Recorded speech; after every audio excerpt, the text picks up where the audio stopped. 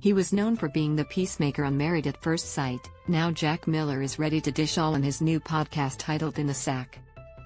Jack's exciting new career move with his best friend Sean Mullan will explore his experience on MAFS, his marriage to Domenica Calarco and his new relationship with Love Island star Courtney Stubbs. He took to Instagram to share the podcast after years in the making. This one is a dream come true. He wrote. A podcast with one of my best mates has finally launched. I've been teasing this one for a while but I'm ecstatic to finally get to show you all. Tune on in, and I promise you won't regret jumping in the sack, he concluded.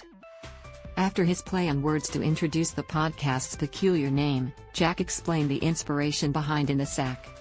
Sean plus Jack equals Sack. Numerous fans took to the comment section to congratulate the 27 year old television star on his new project after MAFS. Congratulations. This is just great. One wrote. Another commented, Congrats on the new endeavor, I'm sure it will be a great success. In a statement, Jack revealed the podcast was an opportunity to show his more authentic self, which can be difficult to do on social media. It's been months in the making, but I am so excited to finally get this podcast into everyone's ears. He said in a statement.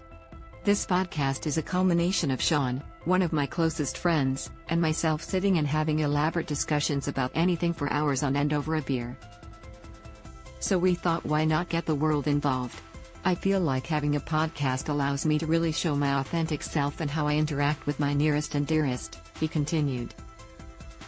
You can only show so much on social media, but with a podcast, I'm slowly learning it's a free for all.